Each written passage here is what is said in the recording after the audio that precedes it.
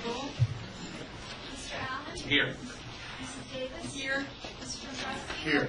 Mr. Eichelberg? Yes. Mr. France? Here. Mr. Marshall? Yes. Mrs. McGrattan? Here. Mr. Song? Here. Mrs. Wadecki? Here. Nine here, zero absent. Are there any residents or property owners that wish to address the council at this time? Mr. Rodrigo, how are you, sir? Town council? Uh, It's been a long time since I've been here, but I have a few questions. Joe, you gotta give your name and address. Uh, I don't, I forget my name, but I live at uh, 198 Gallup Hill Road, Joe Lozier. Sorry. Mary, how are you? It's been a long time since you've been here, you can't remember that part. can't remember that far back. A couple things. I was in the post office the other day, and this lady came up to me, and uh, guess she thought I was still involved.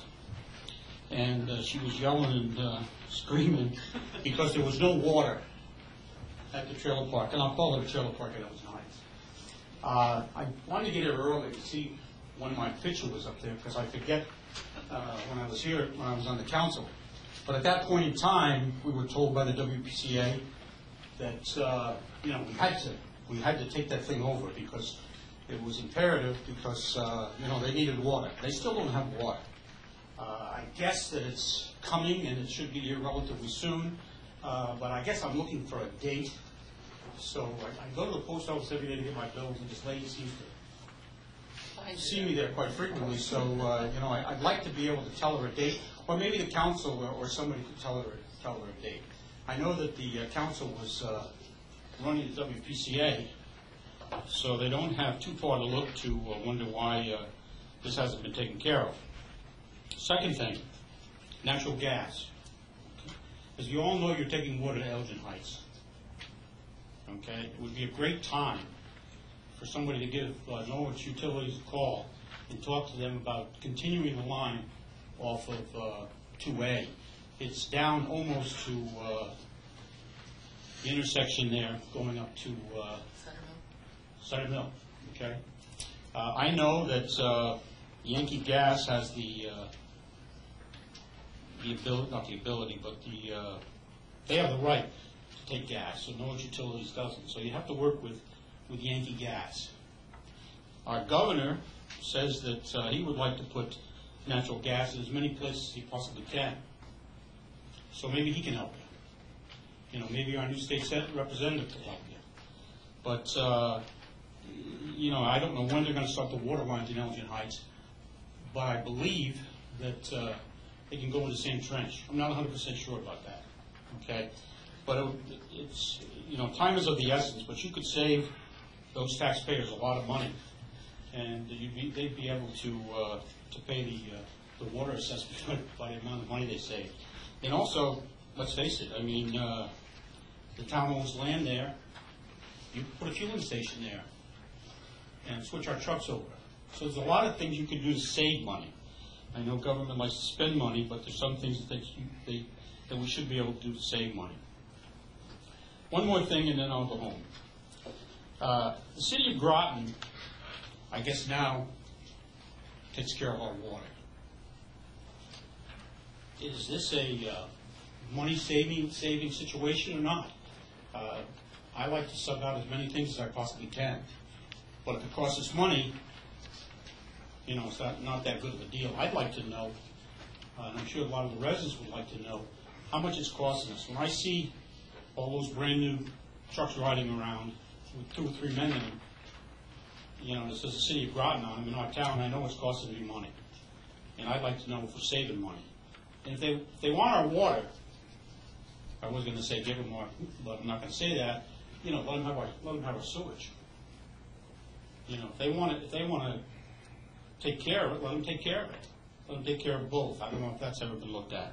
A couple more things, and I'll, I promise I'll leave. Uh, we're not using the well down the Loftus any longer.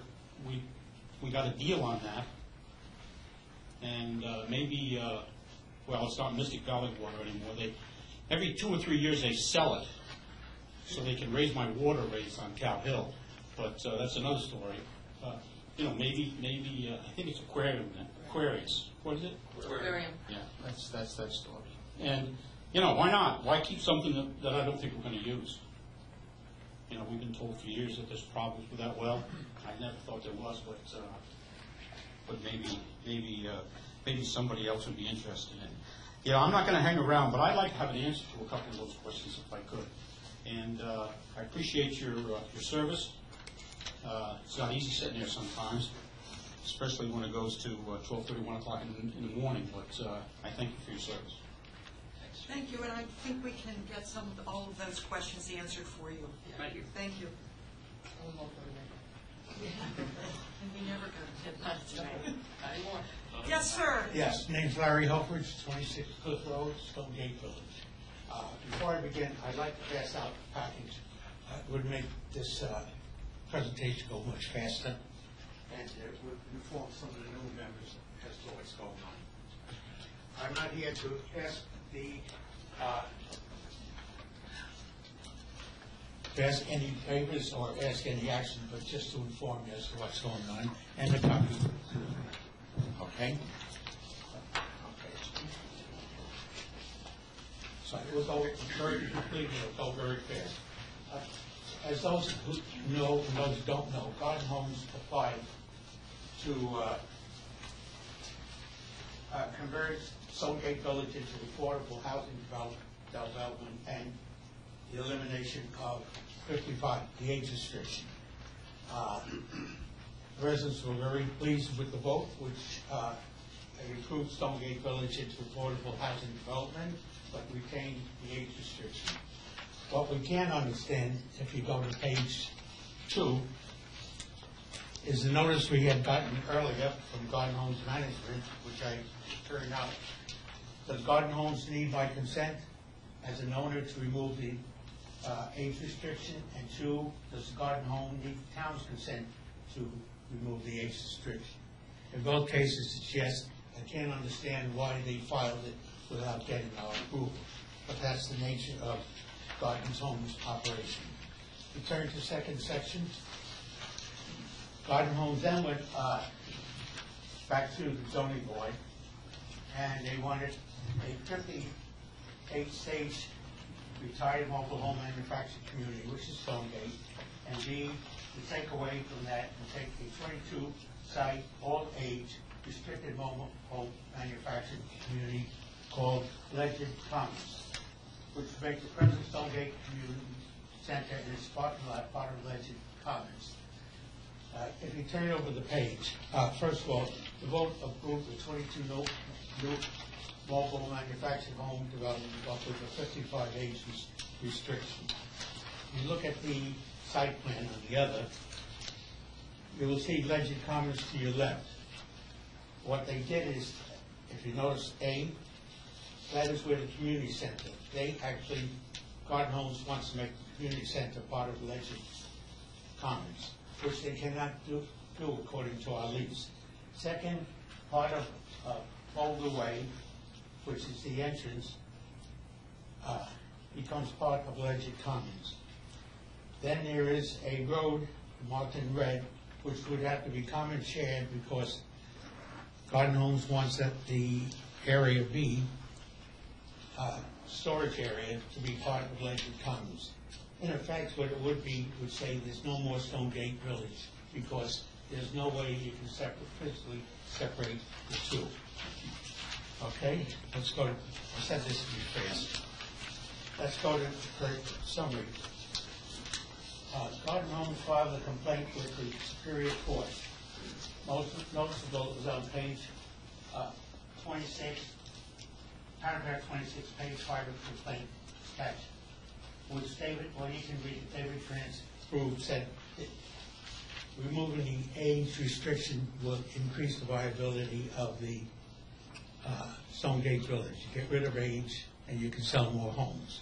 Well, on the attachment, you note, uh, well recognized there are successful age-restricted developments in Connecticut. My research focused on failed developments. In other words, he didn't look at local successful age-restricted developments. And that is the only professional help that was quoted in the complaint. He had two others, but they failed so miserable, he, they didn't mention the complaint. Uh, Among the reasons why, and I listened, that we believe that limited the viability of the age-restricted community, one know, is, one we all know is the economy. Second, Garden Homes president has stated that location, location, location has nothing to do with the sale of a house. The only thing that will sell a house is, those houses are prices. He built two houses, one was sold last, two model homes, and they were never sold. One was eventually sold in August, someone couldn't wait for this new development for Presbyterian Church. The other one they had to rent because they couldn't do it. Every house that was bought was far above the very inexpensive house uh, that they had uh, built as a, as a show house. Second, uh, in the past year, in other words, this full year, they've done no advertising. They put a couple little, what I call notices in the paper, uh, is, was no one on premise, notice there any hours posted or, or any place posted where they can get a hold of a, the real estate developer. And there's no model home. Now, anybody the right mind tell you, they can't sell a house that way. They are looking forward to saying we can't sell houses, but they definitely are doing this, as far as we're concerned, deliberately. They shot themselves in the foot. They will do nothing, they, and everything they do is wrong. And as far as location, even people who reported to them had advised them to stress the location. I mean, we are a great location, and that was another stress. And then finally, the other day, they put a, put in a house, single house, with a three twelve roof pitch. And if you go to the last uh, sheet on there, item B, now this is the lease which they wrote on here. It's even more stringent and more detailed than the lease that their former T, T, TGI.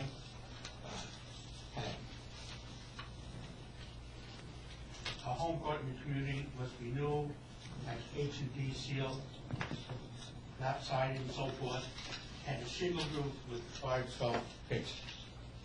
Now, they said they got a permit, which I believe they did, but there was no, nothing on the permit, permit with, uh, stating what roof it is. Uh, We, we feel we're in for a strong battle with them. Uh, They're testing us by putting this one up, and they know they have no legal grounds. Now, the, uh, this is just for information, not, we're not asking for any help or anything, because we know the limits and the dividing line between the different commissions. But this is just to keep you informed of what's going on. Uh, I moved here five years ago. Uh, I'll be eighty-three next month. I came here to live, enjoy life, and eventually pass over. But I swear, I'll spend every day I have getting after these people, and they can't get much out of me if they sue me. Almost all the money's in my wife's name. So I have nothing to lose on this, and I- I guarantee you, if they don't come about, and I believe it's all part of, and I know, we all know, it's all part of the president, who somehow, some way, never wants to lose. So, anyway, that's all I have to say. Thank you. Thank you. Thank you. And Thank you for your service on the zoning commission. When I'm finished with that, I'll be pleading to come back. I, I miss being out with the boys. It's the only time I get out. We'll find something for you, Larry. Oh, I'm I'm still on the, le- uh, uh, member at large at the uh, Legend Town Center. Oh, good. Yeah. Any other resident property owners wish to speak at this time? Hearing none, uh, committee, commission, or board reports? Comments of town councilors? Just have one. I'd just like to uh, commend Linda for her handling of the, uh, the events during the, uh, the hurricane. I think she did a fantastic job of disseminating information to the residents, keeping everybody informed, and, uh, and holding down the fort very admirably during the mayor's absence. Thank you. The mayor's stranded us. Yes. He was supposed to be here most Right. part of that time. Was it- Tomorrow is the uh, last night of um, Know Your Town. It will be held at the Parks and Rec um, Board of Ed building, and it will feature the Board of Ed and Parks and Rec. So we hope that uh, you come to this. Seven o'clock. Any other council comments? I have just a couple of items. Um, I would like to um, just do a shout out for Rich Rusciati, who is a coach of Ledyard's uh, soccer, um, in Ledyard soccer programs. Um, He uh, coordinated and sought donations of $10,000 for the installation of the two new lighted scoreboards for the boys soccer program and the girls soccer program. Uh, So uh, thank him for his efforts. Um, It's it's always such a pleasure to see how much we do rely and depend on our our volunteers. Um, As far as the um, event, as you called it, I I would just like to, um, if I tried to thank people personally, I would I would miss someone, so I'm not going to do that, but I would like to um, say just a special thanks to the police and the emergency services personnel, uh, our public works who did a fine job, I mean, lots of rock stars in their midst. Uh, The staff who, uh, many of who went well beyond their job descriptions.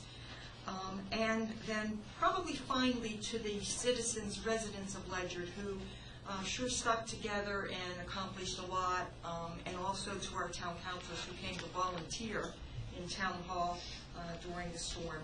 And then one other item I would like to mention, I'm surprised you didn't mention this, Bill, we found Shadow.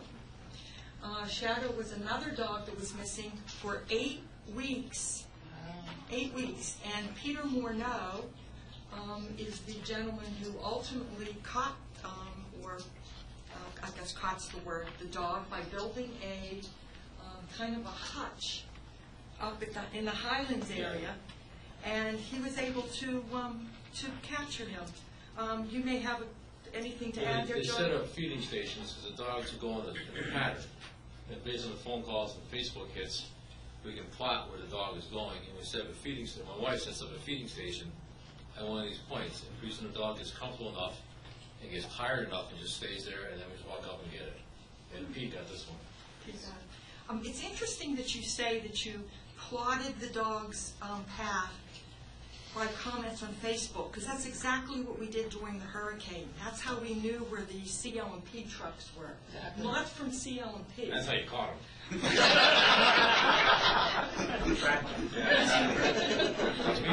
It was, it was Facebook that did that. Anyway, uh, okay, on to the approval of minutes. I Make a motion to approve the uh, public hearing meeting minutes and regular meeting minutes of October 24th. Second. Motion made and seconded. Any discussion? Corrections provided? If you call the roll? Mr. France? Yes. Mr. Marshall? Yes. Mrs. McGrattan? Abstain. Mr. Soms? Yes. Mrs. Wadecki? Abstain. Mr. Allen? Yes. Miss- Mrs. Davis? Yes. Mr. Dombrowski? Yes. Mr. Eichelberg? Yes. Seven in favor, two abstentions. A motion carries. I have a communications list. There are just two um, minor referrals. Um, Let's see, subcommittee liaison reports, admin committee, Mr. Eichelberg. Uh, let's see, we made a number of appointments tonight, um, a couple of other items that are gonna show up later on. We did talk with, uh, we did talk on, we did a number of, like, quite a bit of work on the, the blight ordinance, um, we'll address that later as well. Um, and again, most of what we talked about will be addressed later. Any questions for admin? Community services? Yeah, we met uh, last week. I met with uh, LB's representatives, Jake Choi and Nick Bosom. Bosom. Uh, We basically discussed where LB's is at right now and and where they're heading in the near future. And and the- the big topic of the meeting was the, uh, it's really come together as a unit now, emergency services, between the two firehouses and the LB's. The relationship between the the three companies has improved immensely the past few months uh, both in the building and and on the scenes. They're really working together quite nicely now. Uh, There's also, know, during the storm, because they're getting together so well now, they're actually hanging out at the firehouse. There's two full crews available, so it cut down on response time if someone needed them. They were there hanging out. Uh, Their open lines of communication between the chiefs and the LBs, that's helping out everywhere. Uh, They also, um, they have mutual aid agreements with our surrounding towns in the area, and Mystic River has actually moved them up on the call list based on their performance.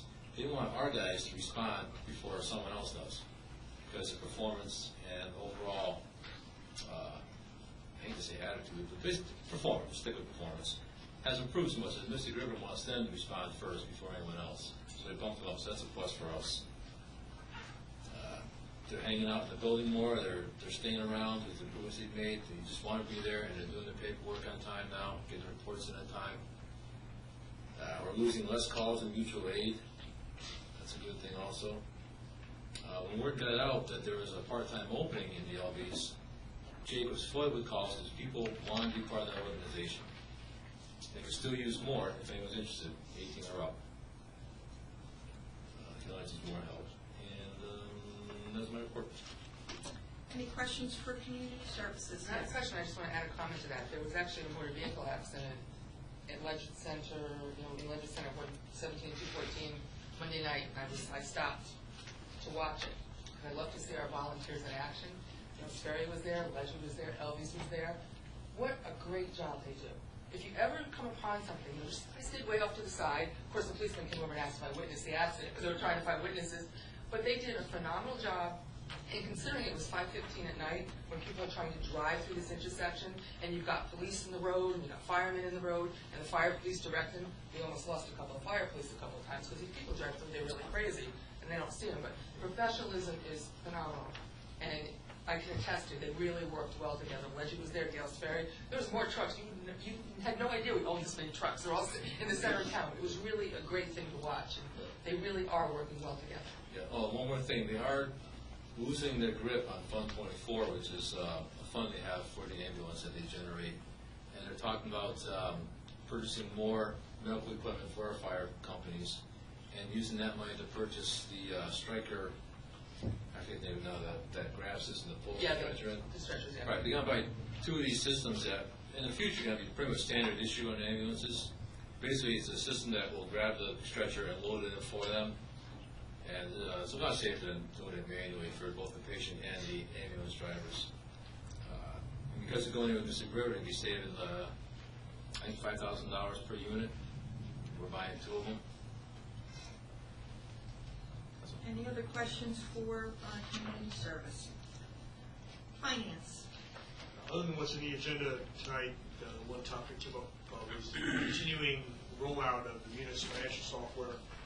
As uh, most heard, uh, we did roll out the uh, expense side of the Munis software, management uh, and funding of the town in July. The payroll side of it, rolling out in January. And in preparation for that, they'll be running uh, parallel payrolls for Board of Ed and town employees with Munis to validate the data that's been entered. So that uh, when January comes by, we won't have the paycheck not go out. We have uh, upset town employees. So it's a good thing. We'll have several payrolls uh, to validate the data before we uh, go live.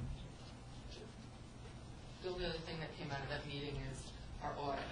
We are extending our audit, and I, and Marcia didn't say why, but I suspect it is this Munis rollout, because it is taking a lot more time and energy on Marcia's part as well as on Nancy's, trying to get into this program. It's a little bit more complicated than they thought it was gonna be, getting it up and running, but they're both confident that when it's up and running, they're gonna like it, it's just getting there. Any other questions for finance? Information technology, Mr. Solomons. Information technology met on uh, November 6th, right after the storm, and we took advantage of being right after the storm to invite uh, Lieutenant Finkelstein to come and speak with us about lessons learned from use of technology during the storm. So this is where I was going to post my little pitch for Facebook. Uh, Levo and, Livo or Levo, Shadow and um, Dax. So in Ledyard, there is, uh, there are a number of uses of Facebook. Um, There is also emergency alert system called Everbridge, which you can sign up for by going to the Ledyard Town website. And we're really trying to get that word out. But then there are also people who just don't have uh, electronic communications. So we're trying to do a better job of getting the word out, especially in emergencies, to all the people in all of the ways that we can. So um, the first thing that that Lieutenant Lieutenant Finkelstein said um, in lessons learned was social media was a huge help in getting the word out to more people during the storm. And that's where we were we were hearing about CL&P trucks and who had power and who had didn't, where roads were closed. The town was sending out bulletins on Ledyard News. It was posting them on Ledyard's website, and it was also sending them out to the Ledyard Gales Ferry Community Forum on Facebook. So people knew where roads were closed, they knew where trees were down, they knew who had power, who didn't. Where to get water? Where to get water. And towards the end of, of the week, um, the town hall was publishing these, not only where to get water, but where to take showers, where to get meals, where you could stay overnight. It was really a great use of technology. The, um, the thing that I really want to stress is to people is to make sure that you sign up for Everbridge on the town website. That sends emergency alerts to your cell phone, your home phone, your email, it'll text you. Any, you're in control. You decide what numbers to get it, give it, and how you're going to get your messages. One of the things we learned was that if a household signed up for Everbridge with one account, and there were two people in the house, for example, and each has a cell phone, it would call the first cell phone that you list, and if you said, okay, I got my message, it's not going to call the second one. So every resident should sign up for Everbridge if you want to get these emergency alerts.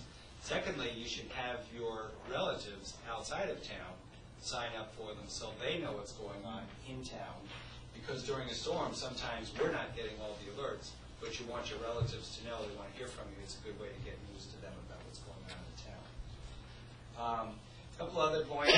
Um, I want to second uh, Councilor Allen's comments about what a great job Chairman Davis did as the acting, acting mayor. Also, uh, mayoral assistant Mark Bancroft was noted by Lieutenant Finkelstein. Um, And I wanted to comment on a number of people, uh, which have already been mentioned by uh, Chairman Davis. Uh, It really was a great exercise for the town. Um, Couple other things that I, I won't go into. I published a really long list in the report, so the report is online. If you go to Ledyard's website, you see the rest of the lessons that we learned from this use of technology. It's a small expense to the town and a really great leap forward in in getting the word out during this emergency. So, thank you. Any questions for IT? I would just add that as far as Everbridge, um, before the storm, we were, I believe, just under 500 users, maybe 500 users.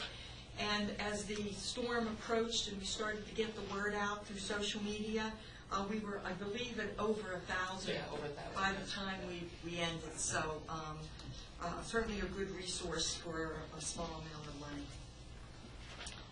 Okay, let's see. Land Use and Public Works Committee, Kevin. Uh, We also met last week. Uh, We have a couple of items on the agenda to recommend the council accept a couple of roads into the town road inventory and also uh, open space to be uh, added in. That's all I have. Any questions for Lynn? Uh, Board of Education Liaison, Mr. Yes, if I could uh, bend your ear for a few minutes, because there were actually two meetings last week. And uh, so I'll start with, uh, I'll start with one comment regarding, uh, the Board of Ed is, is also working with the same financial software that the town is. They have, uh, they have begun testing it, and they are, at this point, saying that they're prepared to start using it as of uh, January 2013. So that dovetails into uh, Councilor France's comment on the software. Um, The school-wide asbestos removal is in the final phase this coming summer, so it's been a five-year project, and this is uh, the last summer of year five. So things are going well, and they're under budget on that. Um, Ledyard High School was awarded the Michaels Cup for the Class Double M, which is fantastic news for them. Um, It's a, it's a nice award to receive, and uh, it's based on, it's not just based on wins and losses on the field or on the field of play. It's based on sportsmanship, uh, participation, which Ledyard High School is at 54% of their student athletes participating in sport, which is well above the, uh, the other area towns. Uh, Classroom achievement, drug-free athletes, and, and then finally success on the field. Uh, Let's see, educationally, uh, the AP class enrollments are really going up. Um, That, that program has actually doubled their enrollment in the last two years. So kids are really taking advantage of that. Uh, The number of students taking the PSATs almost doubled as well from 2010 to 2012. Uh, They're still working on how to recover the five lost hurricane days. They did get one back on election day, so they're, uh, they're down to four. They're working on that. And then, Were they open Veterans? I they no, they, they, that one? no, they faced some, some pushback on that one, so they're looking at a couple other different options, and uh, they should, by the next meeting, know what, what days they're going to finalize to, uh, to get that in, but it doesn't look like they're going to be tapping into uh, February, April vacations, which is good. Uh, The second item was an informational meeting, one of probably three or four informational meetings regarding the renovations of the Ledyard Middle School. Um, There are a couple plans that are available, and if residents want to see them before they attend one of these meetings, and I urge everybody to attend these meetings, it's really important to, you know, be an informed voter, because this will be something that you will see. But um, on Ledyard Patch, they have the, the different uh, proposed plans, and you can, you can download them as PDFs and print them, and it's great. But uh, I did attend that, went through the Ledyard Middle School, the school that I went to, and, and uh, saw the needs that exist there. And uh, the plans are, are, are pretty, uh, pretty impressive. There's a couple different variations. Uh, One of them does include uh, a town emergency shelter, which I think is a, probably a big need. So unfortunately, it was very poorly attended by the citizens.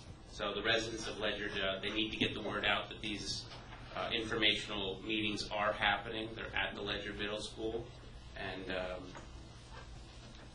it's something that'll be coming up soon. That's it. Any questions for our Board of Ed liaison? Other liaisons?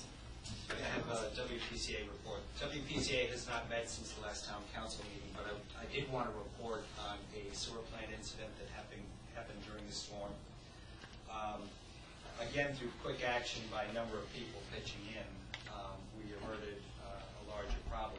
When the power went out to the sewer station in the Highlands, uh, which is called the wastewater treatment plant, um, when the power went out, the generator failed to start, and therefore the pumps couldn't run, so there was a risk of sewage backing up into homes on that system.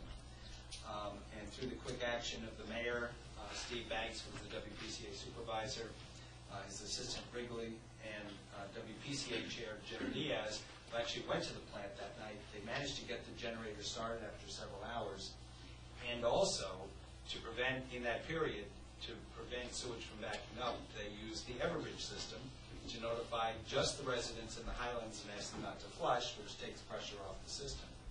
And as a result, um, what you do in a situation like that, all towns do this, when, when the system fails, they have to dump the overflow of untreated sewage directly into the waterways, which we never want to do. But that does happen quite frequently in large storms. Um, In this case, we released 20,000 gallons, which is approximately the size of a home swimming pool, which in the grand picture is a very small quantity of water. Other towns were were dumping sewage throughout, you know, for days, um, all sewage.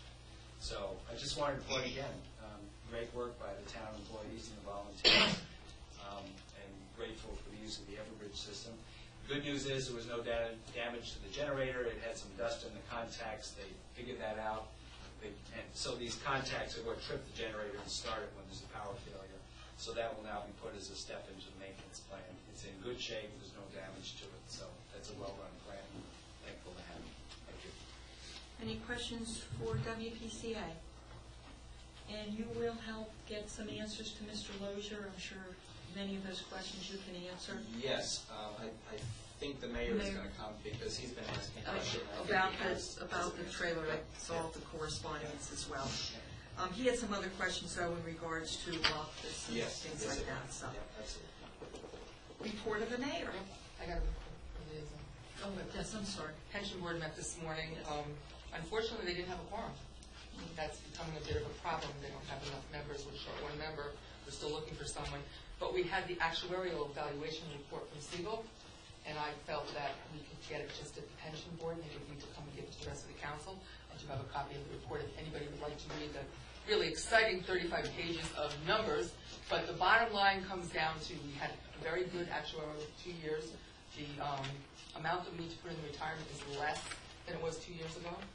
The assets, plan assets are going up, and we just had a lot of positive things that happened, which I won't really go into, because some of them don't sound positive when you, when you say them, but we actually had a good two-year report, and our evaluation report is very good. It went, and our, no, money goes down, so the mayor's gonna be happy when he goes through the budget, because the retirement plan can have less money for it. And perhaps we could, since we're having such successes with our social media, perhaps we could, could you kind of write up like qualifications for somebody that would serve on that board? Maybe we can get the word out to Patch and some other places. Yes.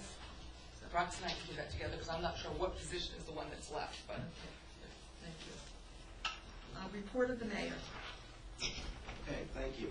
Uh, I'd like to add my, uh, my appreciation for the hard work that was done uh, in my absence at, at the in the aftermath of the storm. Uh, I know you, as, as uh, Chairman Davis said, we don't like to mention individuals, I would like to mention some, uh, you know, specific people. First of all, Deputy Mayor Chairman Davis, uh, my assistant, town councilors who pitched in, uh, of course, all of our emergency services, police, fire, ambulance, uh, dispatch, uh, our uh, administrator of uh, emergency services, I'll mention his name because he's here. Shaw, uh, our public works and police uh, in getting the roads open and clear. Uh, MIS, again, I think was something that really, really helped a lot. A lot. Uh, Our town then some unusual ones, you know, our library. Uh, Because the library did not lose power, they were able to uh, continue to operate as a charging station. And I guess you'd call it a warming station. Usually it's a cooling station when you have hurricanes, but uh, so that was appreciated, and that was uh, unusual. Of course, the schools and the staff of the schools, as they stepped up to allow people to take showers there. Uh, I I take great satisfaction in knowing that the system is bigger than any one person, meaning me, and that uh, all of the work that we did over the past 11 months with CL&P, with our staff, with our emergency services people, the hurricane drill we went through, uh, some of us uh, found a little tedious at times. Uh, I think all of that really contributed to the fact uh, that we were prepared, uh, people knew what to do, and then people stepped up to some unusual things. You know, they say at the start of a war, the first thing that goes out the window is the the battle plan. It was the same thing with the hurricane. And and I know that uh, you made it up as you went along in some cases, but it worked out well. Uh, Also, again, communication, there was two-way communication. Uh, Communication between the town and residents, and then between the residents and the town. Many of you fielded phone calls. I know as soon as I got back in the office, I started returning phone calls and taking some. And, you know, what I found i- is our citizens are extremely resilient, extremely patient, and, uh, you know, just to use an example of, of, of just to prove the point, you know, uh, if I was out of the office, I would get a rather, how should I call it, pointed message on my machine, you know, where are you, what are you doing, and things like that. The minute you pick up the phone and you return that call, the people are like your best friend. And then when you turn the, when you, excuse me, when the power gets turned on, it's like, you know, they want to build a statue to you or something, you know. So people are, are, they just want to be communicated with. That being said, I will say that, you know, we did have some good, some successes, the Make Safe program that allows us to open the roads. Um, I would, I would direct your attention to yesterday's editorial uh, in the New London Day. Uh, It was, it, I think it summed up very uh, succinctly what many of us feel about the response of CL&P. Uh, The interesting thing is the reporter left a message for me, I never called him back, and I would have said many of the things that were in there, so it's interesting that others had the same uh, response.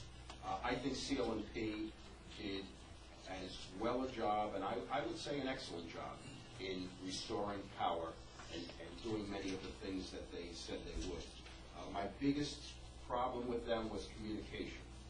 Uh, It's very, very frustrating when people are calling you every minute, asking you, you know, you know, when is my power going to be turned on?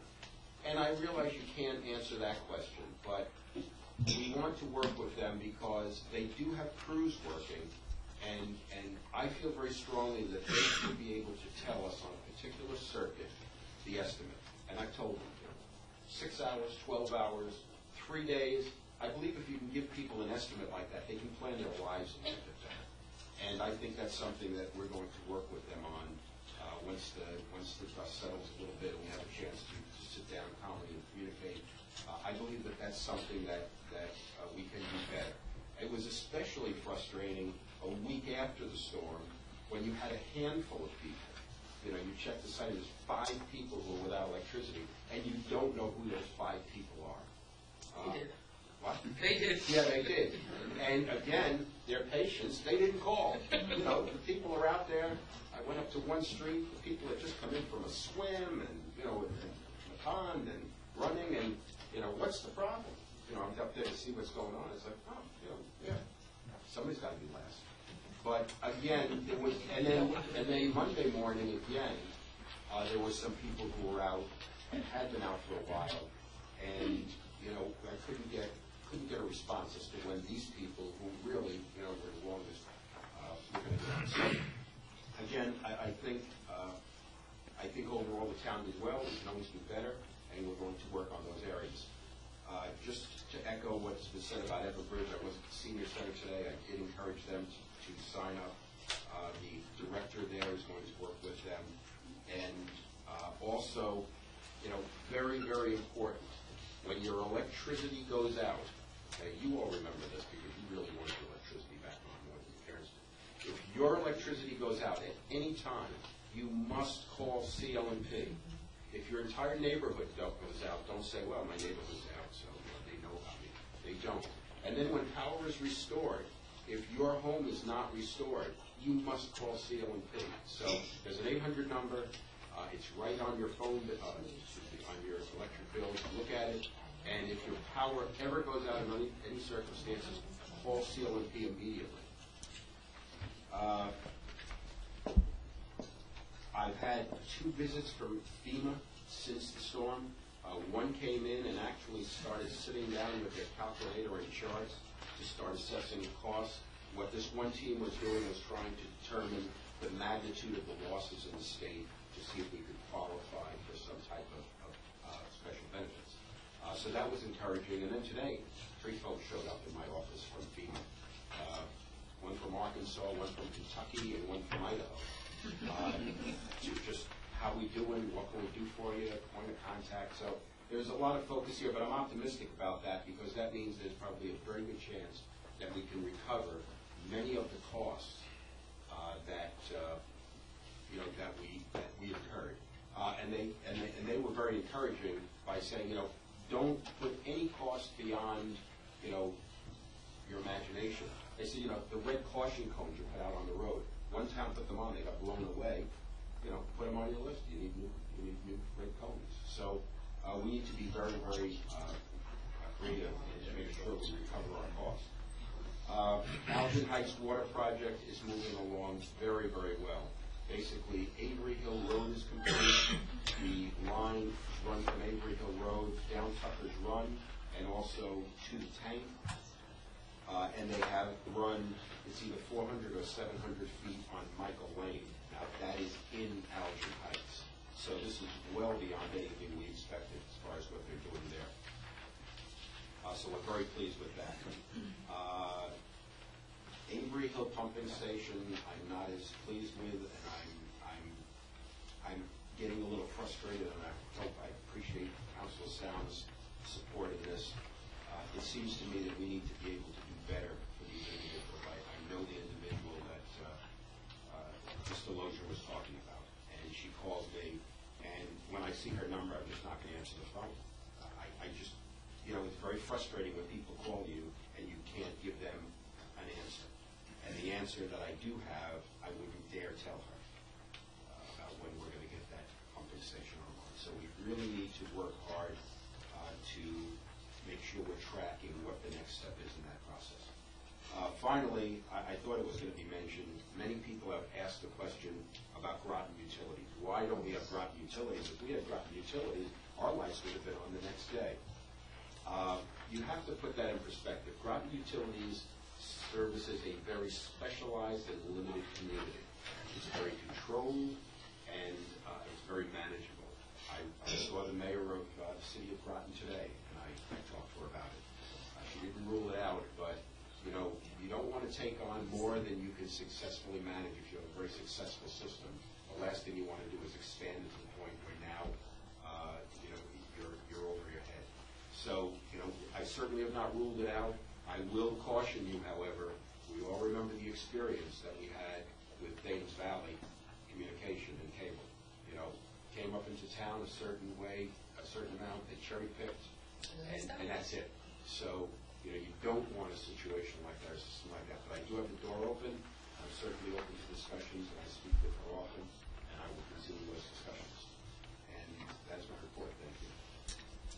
Questions for the mayor? Uh, I just wanted to ask a question that Mr. Lozier asked. Have we considered putting gas in Aljen Heights? I've never even thought of it. Has, it- had anybody thought of it? We have had discussions about uh, the extent of gas lines, uh, and and really, and- and uh, I think uh, Mr. Lozier alluded to the property we own up there, which is the Clark Farm. Uh, There are actually two gas lines that come within a certain distance of Clark Farm. That would be very, very attractive if we could bring gas to that location. Uh, Some of the other neighborhoods, um, you know, it's certainly something to look at. Uh, I know there are people here, businesses here in town that would love to have gas But, right I mean, here. with Aljen Heights right now, I know, I don't know that you can put the gas line in I- the water line hole, but we're gonna pave it after all the water lines are in. So if we were gonna do gas, now would be the time. The problem is do it. you'd have to get the project authorized and and and approved. I will tell you this, that I will pursue any grants, because the state is pushing this, so I will, you know, I will speak with our staff to see if there is money available to do this, because, you know, maybe just extending that line, uh, you know, some distance, we could get some benefit out of that. So I will certainly look into that. Doesn't the gas company usually pay to put the pipes in? They may, that's something we need to look at. they did for the middle school. They just made us pay for the I. I guess the question is, you know, to bring it down Avery Hill Road or Aljen Heights. You talk about, you know, is the question to bring it into Aljen Heights? I think or that's- bring it down Avery Hill Road? No, I think his comment was to bring it into Aljen Heights, because you got a lot of homes there, and it would save them some money, and if we're already gonna tear up the road, Yeah. it would seem the time to do it is now, and if, if we can't, you know, and Sure. Understand. it's right there, and it's not, we're gonna pave it when we're done, so if we had to dig it, if it had to be dug up again for a gas line, now's the time to dig it up. I agree. Keep in mind that there is an investment required by the homeowner if they have to convert, you know, oil to If they choose to, yes. to do that. So uh, it, it's something that we've had discussions about, and we're aware of the gas lines there, and we understand, you know, Gales Ferry is very successful in terms of the use of. Well, you you didn't gas. answer the question, and I knew there was probably more to it, so I wanted to get that question answered from Mr. Lozier while we were here, because I figured that, I didn't think that it had gone over everybody's head. Not that I had thought about it, but, you know, I think somebody had. Um, Mr. Marshall? Uh, just want to add on something that the mayor touched on briefly. Uh, when the power goes out, if something in your house was on, you think to go around and turn it off, especially if you're using the stove. Uh, if your house is like mine, when you're not using the stove, it's part of the countertop, you throw mail whatever on there. We had a house fire, I don't know if it was in Gales Ferry or Ledyard. The people did just that. The stove was on, the power went out, and the five days that the power was gone, the stove became a countertop. Power came back on, the mail caught fire. Uh, They were able to save the house, they didn't lose much, wasn't much damage. But just something to keep in the back of your mind, if your stove was on, just double check, make sure it's off before power comes back on again. Thank you. Any other questions for the mayor? Okay. Old business. Um, Admin, are we gonna move on the blight ordinance? We are not, I want to make a motion to take this off of the agenda. We made a number of significant changes tonight, that it will need to go back to public hearing. Okay. Um, so we just, um, I'm sorry, uh, the procedure, we just take it off, or do we vote to take it off? You can just take it off. you can just take it off. Take it off, thank you. Okay. Um, pardon me? No, they're not ready to set the public hearing yet, so that'll come back to us. Yes. Okay. Um, anybody would like to make a motion to change the, um, Amend the agenda? amend the agenda? Hearing none, um, consent calendar? So moved. Second. Um, Roxanne, would you call the roll? Mr. Marshall? Yes. Mrs. McGrattan? Yes. Mr. Soms? Yes. Mrs. Wadecki? Yes. Mr. Allen? Yes. Mrs. Davis? Yes. Mr. Dombrowski? Yes. Mr. Eichelberg? Aye. Mr. France? Nine in favor, zero opposed. Do you want to add an item to cancel the next meeting?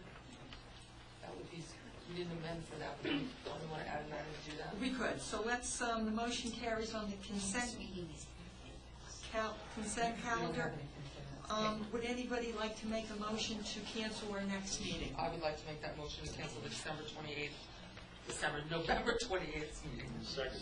Um, I did ask um, if finance had anything. And I talked, to- finance I talked to Marcia today, and she said no. Did not, so um, And nobody else will be meeting between now and then. at this point, at this time, we're um, amending the agenda um, to add the motion, uh, which would be item number, Probably 14 and then move 14 down to 15. okay, item number 14. Uh, Roxanne, would you call the roll? Mrs. McGrattan? Yes. Mr. Soms? Yes. Mrs. Wadecki? Yes. Mr. Allen? Yes. Mrs. Davis? Yes. Mr. Dombrowski? Yes. Mr. Eichelberg? Yes. Mr. France? Yes. Mr. Marshall? Yes. Nine in favor, zero opposed. Motion carries. Um, Admin, number four. I'll make a motion to appoint Mr. Kenneth Gear, unaffiliated of 23 Thomas Road, Ledyard, as an alternate member to the Historic District Commission for a five-year term ending December 4th, 2016, filling a vacancy left by Mr. Ryan. Motion's been made and seconded. Any discussion? I'd just like to comment that um, Mr. Ken Gear is very active in the uh, preservation of the Gear Hill School, um, very interested in history, uh, does a lot of work for the town, um, and he will be a great addition to the Historic District Commission. Roxanne, would you call the roll?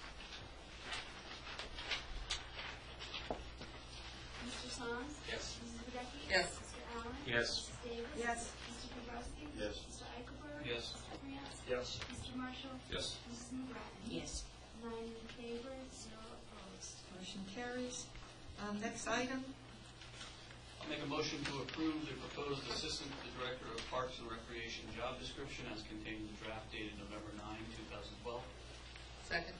motion has been made and seconded. Any discussion? Yes. Are these uh, new jobs or just rewrites? They are uh, rewrites, but they are upgrades. Um, So they do contain new job responsibilities. Uh, They are existing positions, but the job description has been upgraded To reflect what they really do. to reflect what they really do, yes. Any increase in salaries? Chairman of Finance? No, it's not.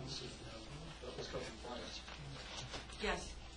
There will be a small uh, increase in the hourly wage for these, as you agree in agreement with the union to do that. We haven't seen it because it's not been asked for us. We'll get it next. Yes. Any other questions or discussion? I would just like to add a little background that I I don't think all councilors are aware of. There's been a history of a number of job descriptions that, due to miscommunication, uh, the union tried to negotiate the job description in the bargaining process, and that's not the proper form. So they actually lost a number of years where they had the opportunity to catch these job descriptions up to reflect the actual duties of the job. So they have finally gone through the process, and thank you to admin for, for hearing them. Any other discussion? Roxanne, would you call the roll? Mrs. Wadecki? Yes. Mr. Allen? Yes. Mrs. Davis? Yes. Mr. Dombrowski? Yes. Mr. Eichelberg? Yes. Mr. France? Yes. Mr. Marshall? Yes. Mrs. McGrattan? Yes. Mr. Soms? Yes. Nine in favor, zero opposed. Motion carries. Uh, Next item, Motion to approve the proposed Assistant to the Supervisor of Public Health Nursing job description as contained in the draft dated November 9, 2012. Second. any discussion? Roxanne, would you call the roll? Mr. Allen? Yes. Mrs. Davis? Yes. Mr. Dombrowski? Yes. Mr. Eichelberg? Yes. Mr. France? Yes. Mr. Marshall? Yes. Mrs. McGrattan? Yes. Mr. Soms? Yes. Mrs. Wadecki? Yes. Nine in favor, zero opposed. Uh, Next item, Motion to rescind ordinance number 20, an ordinance requiring proof of financial responsibility as condition to obtaining permit to conduct blasting operations in accordance to Connecticut General Statutes 29, TAC 349.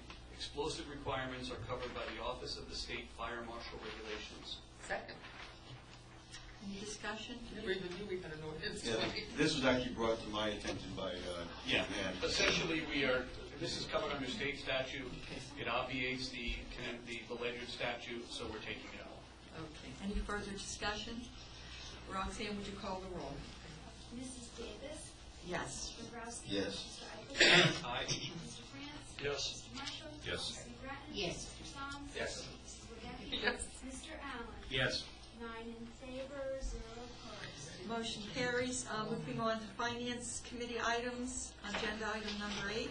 Uh, Make a motion to appoint the permanent municipal building committee as the building committee for the Board of Education's asbestos removal and floor replacement project for Ledyard High School during the fiscal year 2013-2014. In addition, authorize the Board of Education to apply to the Commissioner of Education and to accept or reject a grant for the asbestos removal and floor replacement project at Ledyard High School.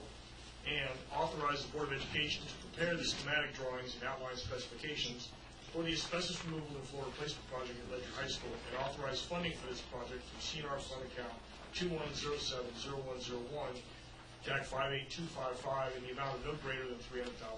Second. Discussion, please. Summary, it uh, follows on Council Allen's comment, this is the fifth year of a five-year project for asbestos removal in the schools, and um, um, this is the final installment of $300,000 for the uh, for the Any questions, discussion? Roxanne, would you call the roll? Mr. Eichelberg? Yes. Mr. France? Yes. Mr. Marshall? Yes. Mrs. McGrattan? Yes. Mr. Soms? Yes. Mrs. Wadecki? Mrs. Wadecki? Yes. Mr. Allen? Yes. Mrs. Davis? Yes. Mr. Dombrowski? Yes. Nine in favor, zero. Motion carries. Next item. Motion to appropriate the additional $395 per VOAG student received in grant funding per Public Act 12-116, increasing the VOAG grant appropriation for fiscal year 2012-2013 to the Board of Education capital and non-recurring account to be used only for the VOAG program. Second. Any discussion?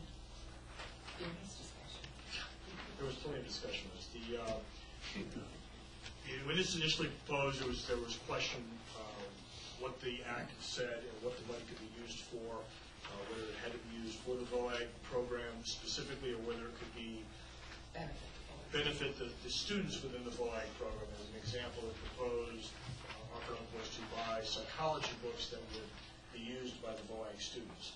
Um, When Bill Merrill came in to the next meeting, he had also done his side of the research and said, no, it had to be used for essentially a capital purchase or something that was directly related to the VOAG program, uh, which they have a a long list of items will belong to that. So the money will be used this year for a one-time purchase, not a recurring cost, and then it will come in next year as a, as in the budget process, and money coming in uh, the budget.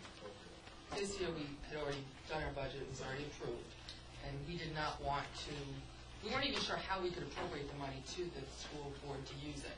So it was the finance committee discussion, we asked them to use it for capital one-time purchases, because this is your one time you're gonna receive this not inside the budget, so why not let VOAG use it for the things that they always have told there isn't enough money to buy?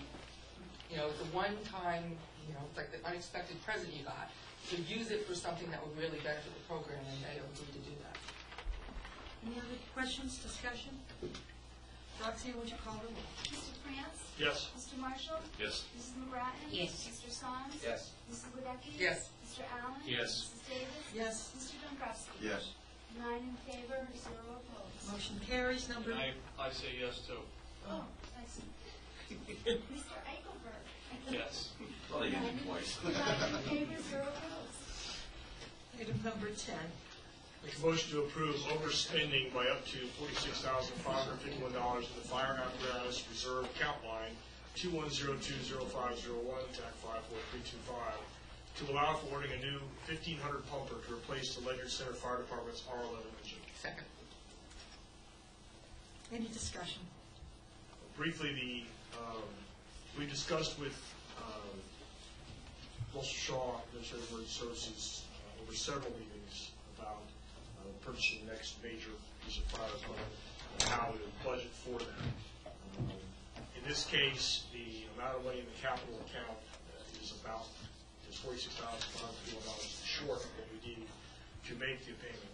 Uh, When they make the order, the payment will be due in the following fiscal year, so we could appropriate it then in the the following budget. Uh, The hope and the discussion of both the mayor and the finance committee is that the current budget year would have uh, the cost avoidance or money that was not expended, to have that money available to us in the current budget. didn't the mayor guarantee us that? I remember that was on the record. I would have to play, I would have to play the tape back. I would have to play the tape back, but I do recall something like that. Yes. uh, That, uh, This, this fire truck will be re- replacing two fire trucks. Right. And uh, Mr. Shore did a big spreadsheet of how far out in funding we need to buy trucks in the future. And this truck is kind of being bought ahead of that schedule. So if we don't use the forty-six thousand dollars in this year, we already have to bump next year's amount up. It's really gonna make a big dent in next year's budget. So the hope is to find the money in this year's budget, but in any case, we need a fire truck. And in the replacement of the two, the R11 tanker and the other one will be surplus and, and sold. One is, One is going into reserve. no, I don't know if it's going to reserve anymore. Oh, Rest will be, Actually, the current R11 pumper has been taken out of service Yeah. because the frame's deteriorated. That's a 1989 pumper. The tanker that uh, this pumper will also replace is uh, a 1991 piece of apparatus. We'll keep that in service, but at the point where that one gets out of service, this pumper is actually going to have a CAF system, and we think that's going to allow us to start reducing the fleet. So we'd only be running one tanker in town versus two tankers. If that fails, uh, we'd be buying a small uh, tanker uh, to replace it. If it succeeds like we expect, then we may be purchasing a small pumper to get back into the flag lots. Eventually, we want to go from 10 pieces of apparatus down to eight pieces of apparatus. Currently, each station has two pumpers. If we go down to a one pumper, one tanker type of situation, we'll need one engine company that's available to put in either department when one's down for maintenance. now, 11 that's out of service now. Is there any hope that we can sell that? We're trying, uh, we That's put okay. out for bids on that, we had a seventy-five hundred dollar minimum, and the bid that came in was for twenty-five hundred dollars. That's the question Uh, that's- With we a are trying to damaged sell that one. frame, it kind of makes it difficult to uh, sell the vehicle in that condition. You'd have to be selling it for off-road use. It's been pulled out of service because it's dangerous. So we don't want anybody on it. Any other questions? Roxanne, would you what you call the roll? Mr. Marshall? Yes. Ms. McGrattan? Yes. Mr. Soms? Yes. Mrs. Wadecki? Yes. Mr. Allen? Yes. Mrs. Davis? Yes? Mr. Grusky? Yes. Mr. Eichelberg? Yes. Mr. France? yes. Nine in favor, zero opposed. Motion carries. Um, Items under land use and planning, number 11.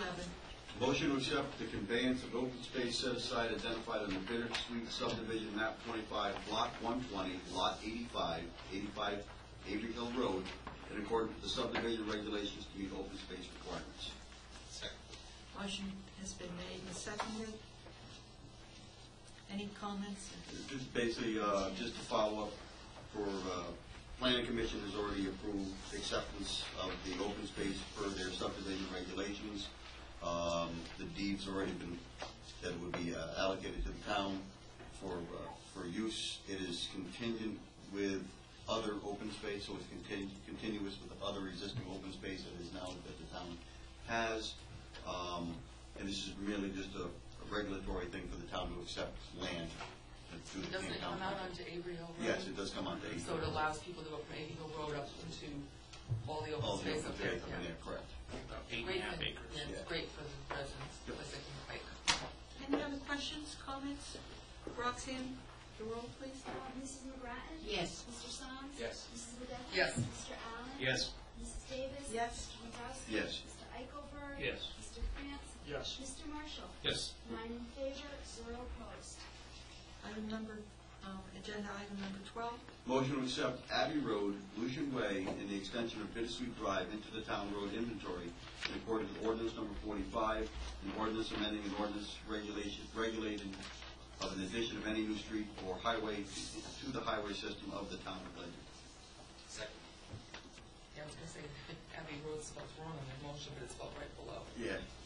Um, The history behind this is that we have currently been maintaining these three roads for the last couple of years for Steve Masalin.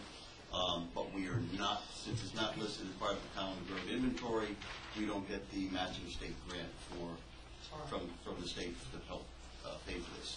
Uh, So that's the reason why. we're- Well, Bittersweet wasn't. That's, we haven't been maintaining that, but the other two. The other two have, yes. But this is all at the recommendation of Steve Masalin. Any further discussion? Roxanne, call the roll. Mr. Soms? Yes. Mrs. Wadecki? Yes. Mr. Allen? Yes. Mrs. Davis? Yes. Mr. Dombrowski? Yes. Mr. Eichelberg? Yes. Mr. France? Yes. Mr. Marshall? Yes. Mrs. McGrattan? Yes. Nine in favor, zero opposed. Motion carries. Um, At this time, I will entertain a motion to cancel the um, second meeting in November. So moved, eleven twenty-eight.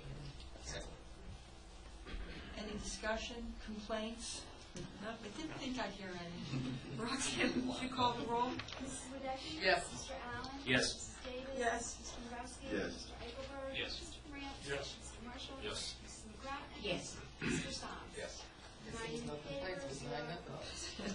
Motion carries.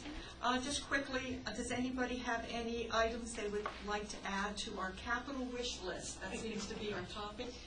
Yes. I actually have one. After the storm, I had been approached by uh, George up at the, the senior housing, and they had issues when they lost power during the storm.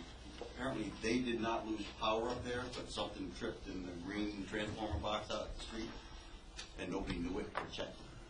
But one of the things that they request is that as part of the senior housing, at least in the main building, maybe having a generator up there so that the seniors up in that area can have a warm location to go to right nearby. So maybe a generator at the senior housing might be uh, something to add to the capital list. Having served as your mayor in this six days, I will tell you that there were many people in many forms of public, of, of town of Ledyard who are now asking for generators. The libraries, um, the senior center. So, um, generators is certainly an item that we can, um, Roxanne, if you would just add that onto our list, and at some point we'll have a discussion on that. Um, another item that was storm-related, since we talked about storm-related, you know the really nice sign we had up in Ledyard Center, the one that said, uh, showers available? Um, the interesting thing about that sign is that because it's so old, it has to be programmed with a computer at the sign. So, um, anytime you wanted, they needed to change the words, um, somebody had to, with a laptop, go up there and change it. So, that item also came up as a, um, Remote control or? a, well, there's, the, the new signs are much fancier than that, and Sergeant Gilman mentioned that. He thought perhaps there were some kind of grants for signs like that. So, we'll throw that one on our list as well. Any other items? Yes? How about a permanent pavilion at Erickson Park? A permanent pavilion in Erickson Park. We can, now remember, this is just a wish list, so um, we will add that onto our list. Yes, Malika. He wants a generator. Absolutely not. Uh, Just to follow up with uh, Counselor Allen uh, about the the Ledyard Middle School, uh, just to add something there, because it's related to this. Uh, The superintendent gave me an opportunity to speak uh, last uh, Thursday, uh, to just inform the- those that were at the forum that we also have a police station that we're looking at. And I- I've spoken, I speak very often with Dr. Grenier, and uh, one of the things that I think will be important is uh, if we're going to sell either or both of these projects, is to give people a clear indication of the cost, the long-term cost, most being debt reduction. Uh, I'm already working with, uh, with the finance director to come up with a chart, because our debt is coming down. Ledyard is very, very lightly indebted, and our debt is coming down uh, rather sharply. Uh, But I think it would be very helpful, you're talking about two projects that are going to probably cost more than just about anything we've ever built in this town. I think we have to demonstrate to people not just that in the near term, you know, we can manage that debt without significantly increasing our budget, but also what do you have planned down the road? And I think when you put this, this together, uh, all of these are good projects, but, you know, I think we owe it to the people. If we have another project of any size, within, I would say, the next five years, it needs to be told to the people now. And we don't come to them two years after they take on this debt and say, oh, by the way, here's the next wave of projects. So, uh, you know, uh, Councilor Wadecki remembers uh, years ago when we sat down and we did a prioritization. I thought we were very successful with that. We got some of the pri, well, we got the top priorities done.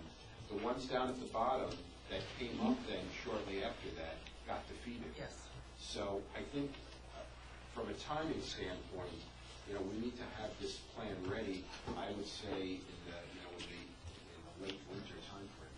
But these are all wish list, small capital items that may or may not ever come to fruition, but, you know, generators would be something we might actually be able to buy through FEMA money or buy through, I mean, I don't, I don't think this wish list is great big capital projects that we're gonna be going to the taxpayers and asking for lots of money. And the police station, I'm sure is not gonna be thirty-three million dollars, right? Look what happens in Norwich. You know, you know exactly what's happening, you know. I couldn't even imagine bringing a project that expensive for the taxpayers for one police station. Everything is proportional. Don't laugh at Norwich. You know, so you see the proportional cost of what we're looking at. The, um, the the positive thing is when I threw the idea about a capital list out there, is um, that we were actually having difficulty coming up with ideas, and most of the ideas are small. So that says something. Um, That, that certainly says something. So, and, but, you know, we'll keep talking about this, and at some point, we'll, we'll try to prioritize if we have some. um, We also will be able to figure out if some can be done through the budget and some we could do one small bonding project like we've done in the past, Mhm. that, or add it to a project that we're gonna bond, you know, a, a million dollars or something that would do some of these things, or half a million dollars or whatever. Good plan. I have an update. Yes. The, uh, we talked at, in a previous meeting about uh, a sign or signs for Ledyard roads to advise drivers Yes. about the uh, Connecticut state law about giving cyclists three feet of passing room. Um, And one of the residents, actually the one who put this in front of us, through the Ledyard Gales Ferry Community Forum on Facebook, um, has, has volunteered to do some research, and he is presently doing that, to find what's available, where we can get signs. And we did talk about it in land use, so. Good. So that's Very good. Anything else under this item? Um, At this time, uh, are we going, yes, at this time I um, entertain a motion to enter an executive I move session. to enter into executive session and to discuss pending litigation concerning Southeastern Area Transit, to be included our council as president and the mayor. Second. Uh, Roxanne, would you call the roll? Mr. Allen? Yes. Mrs. Davis? Yes. Mr. Dombrowski? Yes. Mr. Eichelberg? Aye. Mr. France? Yes. Mr. Marshall? Yes. Mrs. Ratner? Yes. Mr. Soms? Yes. Mrs. Wadecki? Yes. Motion carries. At this time, we'll take a five-minute break to sign um, student paperwork. Ten minutes. If they spread out doesn't, they all come to the, to one end, or three end.